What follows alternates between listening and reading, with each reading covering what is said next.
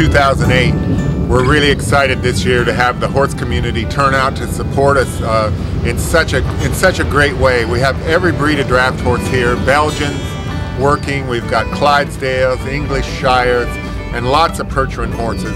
We've got an authentic stagecoach, an antique hay wagon. We've got discs, harrows, and plows working. Uh, it's a really, really exciting event here at the Rush Ranch this year.